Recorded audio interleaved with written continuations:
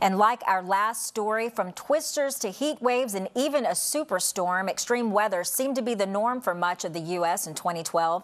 Fox News meteorologist Janice Dean takes a look back at this year's wildest weather stories. 2012 had more than its fair share of wild weather. Whether it was destructive, deadly, or just plain hot, extreme weather affected Americans in every part of the country. After a mild winter for most, spring roared in with tornadoes. Twisters tore through several states, wiping out communities and killing several people. A devastating EF4 tornado with winds of up to 200 miles per hour hit the Midwest. Henryville and Marysville, Indiana, completely obliterated. Heartbreaking stories of families ripped apart, like this tragic case of toddler Angel Babcock.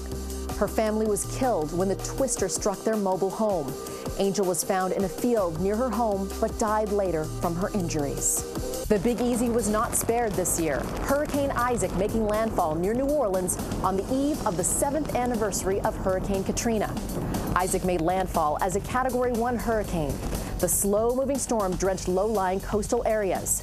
Here's one of the hardest hit areas, Plaquemines Parish. It then moved slowly inland, inundating communities in Arkansas as it passed. 2012 also saw the birth of a superstorm, a devastating hurricane that collided with a powerful cold system from Canada that slammed the northeast. Sandy made landfall in South Jersey in late October, flooding beach communities, submerging highways, and washing iconic boardwalks into the ocean. New York City's downtown skyline fell dark. In Breezy Point, Queens, homes went up in flames. Areas of Long Island, Staten Island filled with debris. Sandy claimed at least 100 lives and changed the landscape of the Jersey Shore. And just a week later, another blow when the area was blanketed by snow, sleet, and rain from a nor'easter.